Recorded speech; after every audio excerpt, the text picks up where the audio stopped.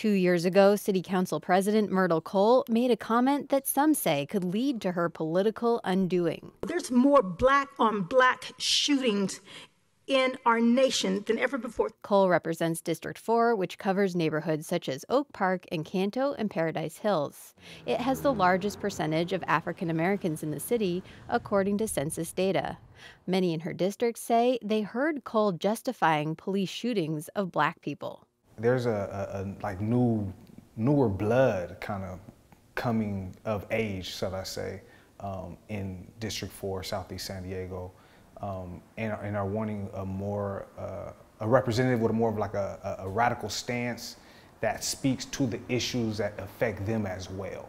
Aaron Harvey is a community organizer in Southeast San Diego. He says Cole's comments were the beginning of a surge of activism among the younger generation. Activism that in part focused on unseating Cole. So there's always been some type of dissatisfaction towards uh, uh, uh Ms. Cole.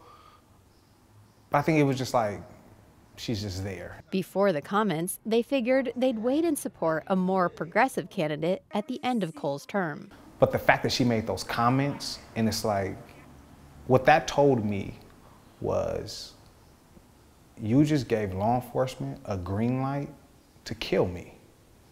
Because a lot of these stops or casual encounters oftentimes result in the death of a black male um, and you blamed it on the black black people on why they're being racially profiled and things like that. I think that started a, a kind of a okay now you have to go. and now we're going to be more vocal about why you have to go. In the June primary, Cole came in just six votes behind challenger Monica Montgomery. If she loses the November general election, it will be the first time an incumbent San Diego council member has lost re election since 1991. Cole's campaign didn't respond to multiple interview requests from KPBS. She did apologize in the weeks after she made the comments and said she planned to push for substantial changes in police practices. But Harvey says those changes haven't come after a study showed there was some racial bias in the San Diego Police Department. She created a, or recreated a, an admissions board, or an advisory board, but that's all it is, just an advisory board. And I don't think that advisory board has done anything. Layla Aziz helps run the nonprofit Pillars of the Community.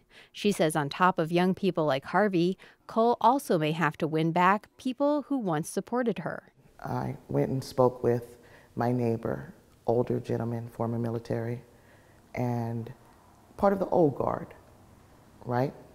Probably voted for Cole the first time.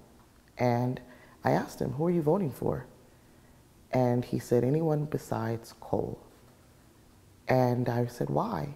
And he spoke of the streets. He spoke of never seeing her in the community. KPBS requested Cole's calendar for the last year, along with calendars for all the other council members.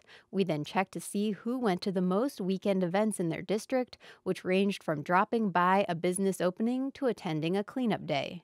Councilman Chris Ward went to the most, averaging about eight a month, sometimes with three or four events on the same day.